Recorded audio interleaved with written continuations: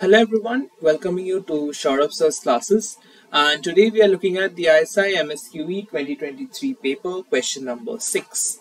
Consider a market demand function P equals to 100 minus Q where P is the market price and Q is the aggregate demand.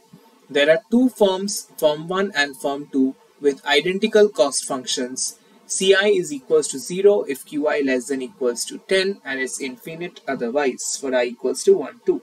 The firms simultaneously announce their prices P1 and P2. The demand coming to firm I is as follows. So it will get the entire demand if its price is lesser than the other. It will get half of the demand if it is equal to the price of the other. Otherwise, it will get more demand. So the Bertrand-Nash equilibrium is how much? Which of the price combinations? Okay. So if we look at the options carefully, let us have a understanding case by case.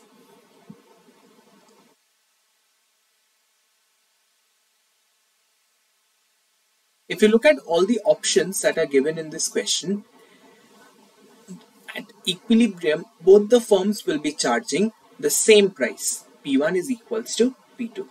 So as at optimal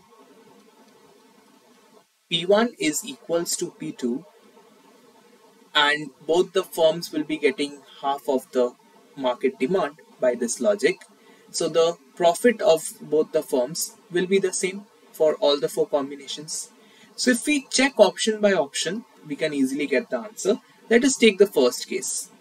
P1 is equals to P2 is equals to 100. Sorry, 0. In that case, what would be the profit of firm 1? It's basically price is 0. If the price is 0, then the quantity demanded would be basically 100 and if it is producing all the 100 units then it will incur infinite cost so this is basically tending to minus infinity. What about the second option? P1 is equals to P2 is equals to 20. In this case, price is 20. If the price is 20, the total demand would be 100 minus 20, which is 80. And firm 1 will get 40 of it. So 40 minus so since it's producing 40 units, its cost will again be infinite, so infinite. So this will again tend to minus infinity. The third is P1 is equals to P2 is equals to 80. So in this case, price is 80. The total market demand would be 100 minus 80, which is 20.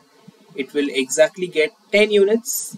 And if it's producing 10 units, then it will incur a cost of 0 so minus 0 so this is basically giving you 800 and the last option is if it's producing if the prices are 90 then it would be 90 into if it's 90 then the total market demand would be 10 units it would get 5 units of demand and given the cost function it would be 0 so this basically gives you 450 so out of the four, the one which gives you the highest profit is option C, which is P1 is equals to P2 is equals to 80.